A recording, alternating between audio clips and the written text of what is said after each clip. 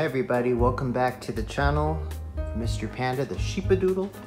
And today I'm just going to be doing a quick review of a product that we picked up right here and it's called Musher's Secret.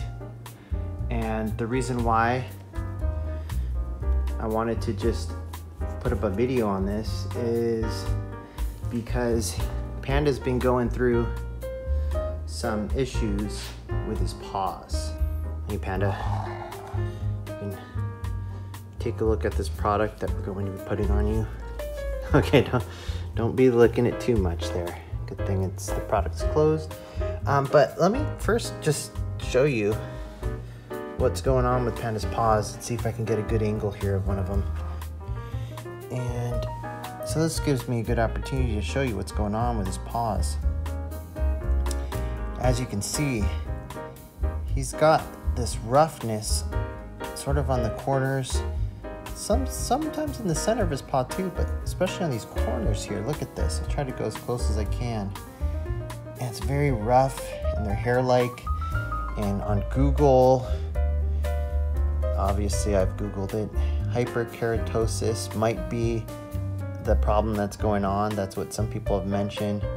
Um, when vets and groomers have looked at this, they've sort of mentioned it could be either that or potentially him just walking a lot on pavement or potentially allergies.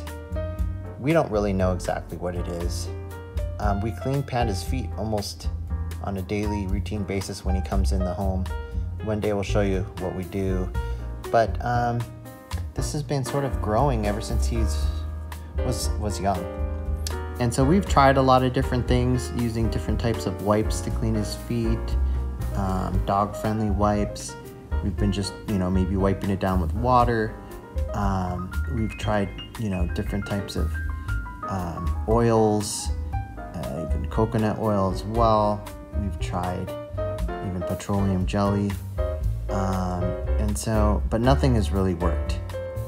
We're not medical professionals or anything like that, but we're definitely always open to, to trying different things to see if we can sort of help this problem for Panda because we do know that he does he does lick his paws a little bit more.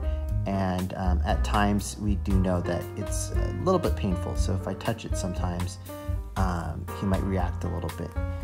And so when we looked up um, what we actually went online and asked some people on different face group chats, and it seemed like the most popular um, thing to try out is this Musher's Secret.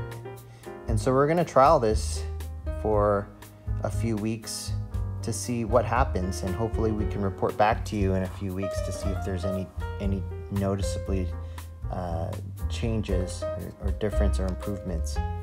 And so I'm gonna open this up here. So we're gonna take a look at this. Um, I actually took a little bit already and put it on one of his other paws. But we're gonna put some more on the, his back paw here. So you can see it's really smooth texture. I'll just take a little bit of this. I usually don't like to um, double dip or anything.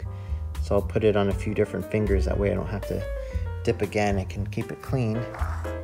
And so I'll just sort of working it into his paws